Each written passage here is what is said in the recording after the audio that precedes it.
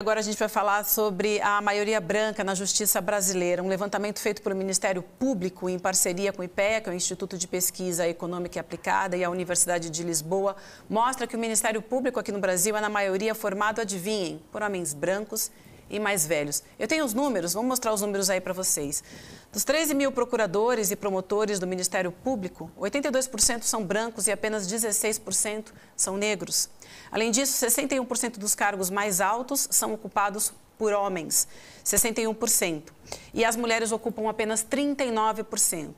Os procuradores e promotores são mais velhos, 48% têm mais de 50 anos e 16,2% mais de 60 anos. A gente tem mais um gráfico aqui, vou colocar rapidamente. Não, é esse gráfico, exatamente. Então, aí a gente tem também procuradores por raça, né? A gente tem 82% branco, 16% negros. Os cargos mais altos, homem ocupa então 61% e as mulheres 39%. E por faixa etária, a gente tem aí mais de 50 anos de idade, 58% e 16,2% com mais de 60 anos. Esse é um tema muito importante para falar sobre isso, a gente convida agora a promotora de justiça do Ministério Público do Estado da Bahia, desde 2004. Ela atua na Promotoria de Justiça de Combate Racismo à Intolerância Religiosa desde 2015. Eu estou falando da promotora Lívia Santana Vaz, que também é coordenadora do Grupo de Atuação Especial de Proteção dos Direitos Humanos e Combate à Discriminação no Ministério Público da Bahia. Bahia. Promotora Lívia, seja muito bem-vinda, um prazer te receber aqui. De cara, eu preciso te perguntar, esses números que a gente acabou de mostrar retratam muito claramente uma diversidade nos quadros e essa diversidade pode influenciar nas decisões da justiça brasileira? Bom dia. Muito bom dia a todas e a todos. Eu diria que, na verdade, esses números retratam a falta de diversidade no sistema de justiça. Nós temos um sistema de justiça de perfil branco e masculino, né? Então, o Ministério Público hoje, com essa pesquisa, dá um passo é, rumo à democratização da própria instituição. Quando nós falamos em Estado democrático de direito, seria natural ou deveria ser é, obrigatório, né, coerente com esse Estado democrático de direito, que a diversidade étnico-racial da população brasileira estivesse refletida nas instituições públicas e privadas. Isso não acontece no Brasil e o sistema de justiça não é uma exceção, muito menos o Ministério Público. É interessante, Vivian, que nós temos 15,8% de pessoas negras no Ministério Público, segundo essa pesquisa, quando pessoas negras representam 56% da população brasileira. Então, há uma subrepresentação é, muito explícita nesse resultado. E quando nós trazemos ainda um olhar interseccional, mulheres negras, elas são apenas 5,4% da instituição. E as mulheres negras são o maior segmento social do Brasil, com 28% de pessoas. Então, é muito importante que a gente pense na democratização das próprias instituições do sistema de justiça, porque isso impacta na forma como nós construímos justiça. Eu costumo dizer que nós temos, com um sistema de justiça tão homogêneo, né, tão monocromático, inclusive, visões unilaterais do que seja justiça, liberdade, igualdade. Então, essa diversidade ela precisa estar é, refletida nas instituições. A gente tem um caso que a gente queria relembrar aqui para a nossa audiência e comentar contigo também. A gente vai relembrar uma sessão em Campo Grande. Vocês lembram que a gente falou disso aqui no programa? Foi Mato Grosso do Sul, em que o juiz Carlos Alberto Garcetti pediu a retirada do advogado Willer Almeida da audiência após o advogado oferecer um copo de água para uma das testemunhas e ele fez isso de uma maneira humilhante. Vamos dar uma olhada nesse vídeo, depois a gente vai repercutir por aqui. Com a Estela no colo. Tira a água, que eu não autorizei. A água para eles é quando eu autorizo com um copo d'água. O senhor não está aqui para servir água para as pessoas, o senhor está aqui como advogado. Tá? O copo de convida não é autorizado. Tá? A função não é, o senhor não é servir água aqui. É. Agora, não servir eles, que eu concordo com o senhor. Tá. tá. Agora, servir, o senhor deixa para o pessoal daqui, tá? O senhor faz seu trabalho de advogado aí, tá? Eu faço o serviço que eu quiser. Não, o senhor não faz o serviço que eu quiser. Se o senhor não quiser que eu não sirva ela, que inclusive está num momento debilitado, está quase chorando, por isso que eu ofereci água para ela, tudo bem. Sim, o senhor tem que requerer para mim. O senhor tem que requerer para mim, tá? O que eu vou fazer, se eu vou fazer trabalho de advogado, se eu vou fazer trabalho de serviçal, ou se eu vou limpar o chão da rua, não suspeito. Não, o senhor... O que, que esse caso mostra sobre o nosso sistema, na tua opinião? Esse caso mostra que a gente tem um sistema, uma, uma sociedade que é racialmente hierarquizada, né? Nós naturalizamos a subalternização de pessoas negras na nossa sociedade. Nós estamos falando de um Brasil que, mesmo 135 anos após a dita abolição da, da escravidão, tem o fator raça, o elemento racial, como determinante de desigualdades. Né? Se nós formos analisar a, as nossas vidas, esse fator determina essas vidas do nascimento até a morte. Se falarmos em mortalidade infantil, as crianças negras são as, aquelas que mais morrem. Né? Mortalidade materna, violência obstétrica, violência doméstica e familiar, feminicídios. As mulheres negras são as maiores vítimas. E é fundamental pensar o que acontece com a Lei Maria da Penha. Eu sempre pergunto isso. Uma lei supostamente universal, e a gente tem que revisar também essa ideia de sujeito universal, que sujeito é esse, porque a Lei Maria da Penha não consegue proteger mulheres negras do mesmo modo que protege mulheres brancas, ainda que a proteção de mulheres brancas também esteja quem da necessidade. Né? O que nós vemos com os atlas da violência é que a cada período de 10 anos há o aumento dos feminicídios de mulheres negras e a redução dos feminicídios de mulheres brancas. Se nós formos falar em violência policial letal, encarceramento em massa, em erros no reconhecimento de pessoas no processo penal, que gera condenações, inclusive, são jovens negros os afetados. E se formos falar em expectativa de vida, em todos os estados da Federação Brasileira, pessoas negras vivem menos que pessoas brancas, segundo PNAD. Então, de fato, é um elemento determinante. Nós não podemos falar em efetiva democracia nesse país quando 56% da população, que são as pessoas negras, não estão incluídas, não estão representadas em espaços de poder e decisão. E isso naturaliza ausências. Eu digo que um dos efeitos mais perversos do racismo é justamente naturalizar ausências. Né? E isso acontece no sistema de justiça também. A gente vê nessa, nessa cena como se naturaliza é, é esse tipo de postura diante de um homem negro, porque não é natural que um homem negro, uma mulher negra, sobretudo mulheres negras, estejam ocupando esses espaços. Promotora, de... ah, diga. É que a gente tem a continuação do vídeo. O Edu ia propor da gente colocar a continuação do vídeo, porque o advogado foi expulso, vocês lembram disso, e a gente faz essa rodada. Vamos, vamos tá colocar? Bom, vamos então vamos lá, só colocar a continuação, vocês vão ver. Doutor, doutor, doutor, não, não, cumprir aqui não, estou aqui advogando. Ele acha que pode fazer o que eu quiser. Retira daqui agora. Então retira. Retira daqui agora. Vocês estão vendo? Isso é para aprender a respeitar a ordem judicial. Vai perder o respeito, eu estou aqui advogando. Retira daqui. O senhor veio aqui para ficar me contestando? Não, não. Estou vendo. O senhor veio aqui para ficar me contestando? Eu sou advogado. Pode, pode deixar os acusados sem. Sim, eu vou suspender a audiência. Tá? Isso é para se aprender que aqui existe juiz. Tá? Quem decide aqui, as coisas são juízes. O advogado faz o papel de advogado, o Ministério Público faz o papel do Ministério Público. Tá? E o juiz conduz a audiência e decide aqui. Edu. Isso é para você aprender a se colocar no seu lugar. É, foi o que ele falou. Uhum. O que ele falou foi isso. Isso é para você aprender quem eu sou e quem você é. Isso é para e, e, a gente não está falando de, de, juiz e advogado. A gente está falando de algo muito além disso, né?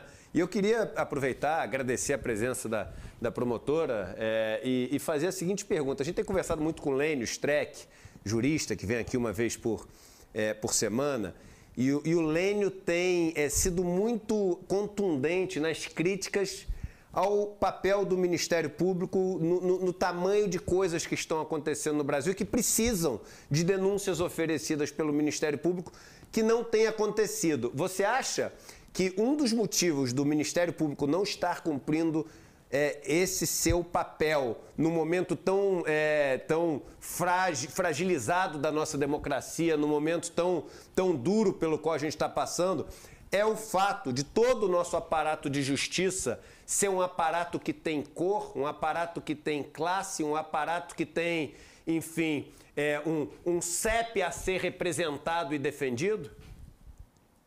Com certeza, é parte disso, Eduardo, porque, veja só, é, quando eu digo em visões unilaterais sobre o que seja justiça, é também sobre isso.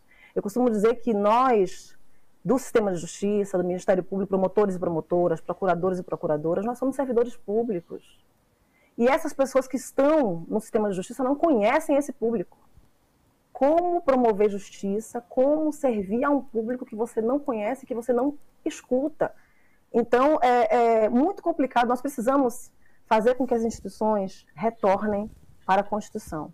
O Ministério Público Democrático é o Ministério Público que precisa promover o Estado Democrático de Direito né? assumir as suas funções de fiscal da justiça, e não só da lei no e crua, mas da justiça, de uma justiça constitucional, é, as funções todas do sistema de justiça, que são essenciais ao funcionamento do Estado Democrático de Direito, o Poder Judiciário, a Advocacia Pública, o Ministério Público, a Defensoria Pública, precisam de fato funcionar para as pessoas. Essas instituições não têm a cara do povo, né? não escutam o povo e, portanto, não conseguem promover direitos para garantir igualdade de oportunidades para as pessoas. Né? Então, nós temos uma democracia no Brasil que é para poucos, na verdade.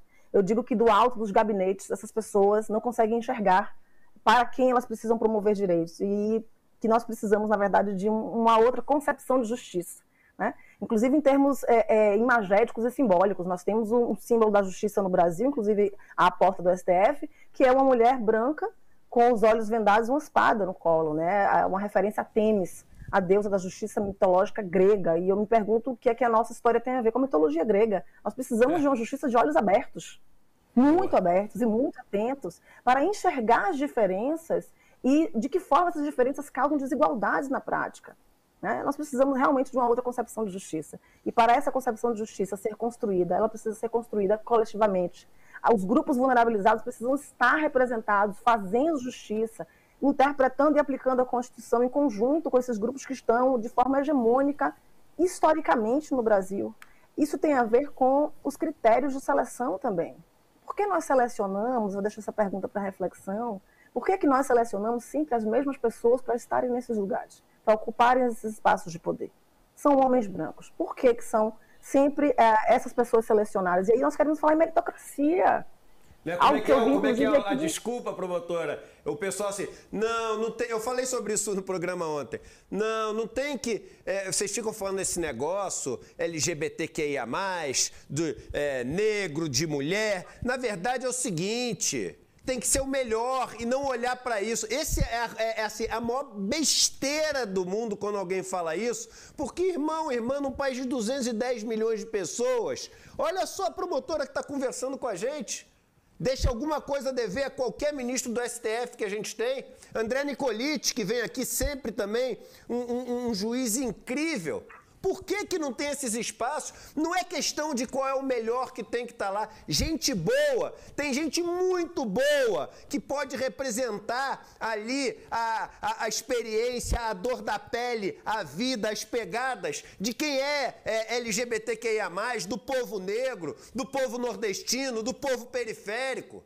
Tem gente boa em todos os lugares. Não é essa a questão, não é a tal meritocracia. Isso é uma cortina de fumaça para proibir que as pessoas que são massacradas nesse país sejam representadas de verdade. Mas é o discurso da moda, né, promotora? Esse de não tem que ser o melhor.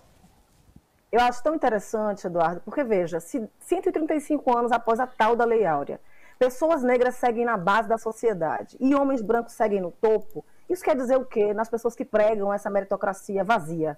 Que as pessoas que estão no topo merecem o seu sucesso. É. E as pessoas que estão na base merecem o seu fracasso sem contextualizar. Você trouxe dados aqui num programa que eu assisti da Organização para a Cooperação e Desenvolvimento Econômico, que vai dizer que nós precisamos de nove gerações no Brasil para que pessoas que fazem parte dos 10% mais pobres da população atinjam a renda média, onde nós estávamos há nove gerações, em pleno regime escravocrata, de onde as pessoas negras tiram o impulso para ascender socialmente, não tiram.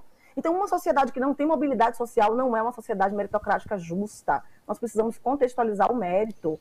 E é muito engraçado quando eu ouço dizer, ah, mas não, não, raça e gênero não importa, tem que ser uma pessoa competente. Não há mulheres negras competentes no Brasil? Porque quando nós vamos, vamos em galerias de fotografias de presidências, de ordem dos advogados do Brasil, de tribunais de justiça, né? tribunais de um modo geral no Brasil, são galerias de fotos de homens brancos. Somente homens brancos merecem? É isso? Então, é preciso, de fato, contextualizar o mérito, entender que, no fim das contas, numa análise crítica, o grupo mais identitário do Brasil são homens brancos. Boa. Que estão sempre se mantendo no poder e se beneficiando e colhendo os privilégios fruto da opressão de outros grupos. Então, de fato, falar em democracia é falar em reconhecimento desse privilégio da branquitude, que é um privilégio, um pacto de iguais, como a Aparecida Bento diz, né? Maria Aparecida Bento fala no pacto da branquitude como um pacto entre iguais que é um pacto que vai manter privilégios. É preciso quebrar com esse pacto. E nós precisamos de todas as pessoas para quebrar esse pacto. Porque pessoas negras não estão ocupando esses espaços de poder para conseguir romper com esse pacto, que é um pacto também de silêncio e de silenciamento sobre o racismo. Lívia, é, antes da gente terminar essa entrevista, é importante, é um prazer a gente receber você aqui no ICL, uma voz importante para falar sobre esse racismo estrutural especial no judiciário. E a Vivian trouxe números para a gente falando sobre como é que ele se espalha em todo o judiciário, mas obviamente ele tem impacto nas mais altas cortes do Brasil, né? Dos 88 ministros das cinco principais cortes do Brasil, das cinco supremas cortes do Brasil, a gente tem só um homem negro, nenhuma mulher negra é, é, como ministro titular nessas cortes. Você é uma das... Quem é o Benedito? O Benedito que, por Gonçalves. Acaso, foi o cara que relator do, do, que puniu o Bolsonaro, né? O Coincidências único, da vida. O único dos 88 ministros dessas cinco principais cortes. É, a gente vai ter mais uma troca agora. A gente teve a escolha é, do Cristiano Zanin para ministro do STF e o presidente Lula vai ter mais uma escolha. Há um debate muito grande sobre esse nome ser o nome de uma mulher negra. Você é uma das entre as várias cotadas, uma das principais cotadas para ser indicada para essa vaga, eu queria que você falasse um pouquinho sobre a importância dessa representatividade. Obviamente, no judiciário inteiro é importante ter pessoas negras, em especial mulheres negras, mas por que que na Suprema Corte, por que que no STF é tão importante ter uma mulher negra para fazer os debates junto com os outros ministros? O Supremo Tribunal Federal é a principal corte brasileira de interpretação e aplicação da nossa Constituição da, da, da, nossa fonte de democracia, do que assegura que a gente tenha, é, de fato, de onde é, é, fundamentar a nossa democracia. Então, é importantíssimo que nós tenhamos diversidade nesse lugar, mas não é uma, uma pauta identitária. Me incomoda muito essa discussão sobre ah, identitário. Não. É a necessidade de termos outras perspectivas de vida, vivências diversas no mesmo espaço. Porque é, é, nós temos ali intérpretes quase que exclusivamente brancos e masculinos. Nas histórias de mais de 130 anos do Supremo Tribunal Federal, nós tivemos três homens negros, né, no, no, no, processo recente democrático, apenas Joaquim Barbosa, e três mulheres brancas, inclusive todos do Sul-Sudeste. Isso também é importante de ser dito, nós precisamos garantir diversidade regional no nosso país o sistema de justiça não garante essa diversidade regional. Então, nós temos um retrato do nosso Supremo Tribunal Federal, é esse. Nunca houve uma mulher negra na história do, da nossa Suprema Corte. Os Estados Unidos, recentemente, quebraram né, com, com esse pacto, eu diria, nomeando a primeira mulher negra para a Suprema Corte daquele país. Está mais do que na hora de o Brasil é, também abrir caminhos, não é sobre ter apenas uma mulher negra, é sobre abrir caminhos para que mulheres negras possam estar representadas em todos os espaços de poder. E aí eu digo que não é apenas sobre essa primeira mulher negra estar ministra do STF, é sobre o presidente Lula ter a oportunidade de ser ele também o primeiro né, a quebrar com essa história né, de marginalização, de exclusão de mulheres negras de espaços de poder e nomear a primeira mulher negra para ministra do Supremo Tribunal Federal.